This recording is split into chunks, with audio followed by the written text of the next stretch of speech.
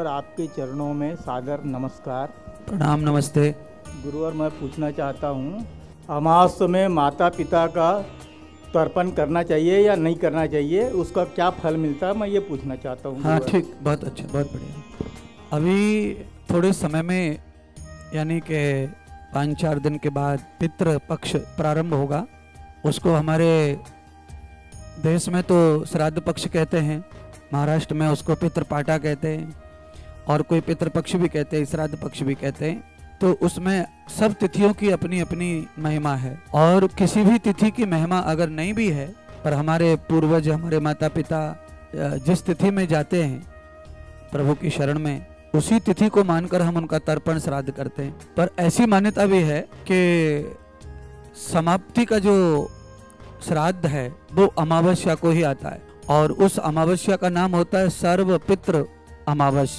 तो सर्वपित्र अमावस्या जो होती है, वो इसीलिए होती है कि पूरे चौदह दिन में अगर हम अपने माता पिता का दादी दादा का, पूर्वजों का श्राद्ध नहीं कर पाए, तर्पण नहीं कर पाए, उनकी याद नहीं कर पाए, उनका पानी नहीं छोड़ पाए तो हम भूले बिछड़ा जो कर्म है, छोटा हुआ जो कर्म है, वह हम सर्वपित्र अमावस्या को कर सकते हैं। उसका नाम ही सर्वपित्र अमावस्या है। यानी कि सारे पितर, जो भी हमारी यादों से पहले चले गए होंगे, जिनका नहीं हो पाया होगा कल्याण या विधि। तो सर्वपित्र अमावस्या में श्राद्ध पक्ष के अंतिम दिन हम सबका नाम लेकर पौराणिक जो परंपरा है, विधि है, वो कर सकते हैं। और सर्वपित्र अमावस्या के दिन माता पिता का दादी दादा का, किसी का भी श्राद्ध हो सकता है, तर्पण हो सकता है, विधि हो सकती है, क्योंकि वो सर्वपित्र अमावस्या है ही उसी लिए, उसका नाम ही सर्वपित्र अमावस्या है ही उसी के लिए नाम रखा है कि बाकी तिथियों में कुछ कम ज़्यादा हो गया, भूल हो गई, नहीं कर पाए, कोई परिस्थिति आ गई तो आप उन चौदह तिथियों का मिला करके किसी भी तिथि का अमावस्या के दिन कर सकते हैं। और श्राद्धों की जो अमावस्या है वही पितरों के लिए विशेष मानी गई है। तो उसमें आप आराम से अपने माता पिता का तर्पण पूजा जो भी आप करते कर सकते हैं, और उसका लाभ जो भी पुराण के माध्यम से लिखा है, वो अवश्य आपको प्राप्त होगा, क्योंकि हमारे विद्वान महात्मा संत या आचार्य पंडितों ने जो भी लिखा है, वो बहुत अध्ययन के और अनुभव के बाद लिखा है।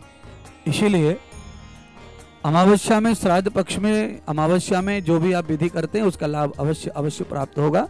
और जो लाभ प्राप्त होता है ना, वो गु- गूढ़ है, गुप्त है। वो तो लाभ देने वाला ही जानता है, या लाभ लेने वाला जानता है।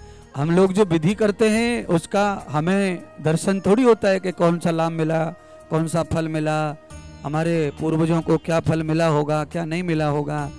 वो तो केवल कर्ता और कर्ता का फल देने वाला विधाता ही जानता है। हमारा काम केवल कर्म करना है, हमारा काम विधि करना है। तो आप जो विधि है, उनको अच्छी तरह करें, श्रद्धा से करें। अवश्य आपके पितरों को, आपको फल प्राप्ति होगी। उसमें अमावस्या में कोई दोष नहीं लगता है अपने पितरों का ऐसा करने से श्राद्ध आदि, क्योंकि वो पितर अमावस्या तो उसी के लिए जानी जाती है तो वो कर्म आपको फलदायी होगा और वो फल उचित होगा। धन्यवाद।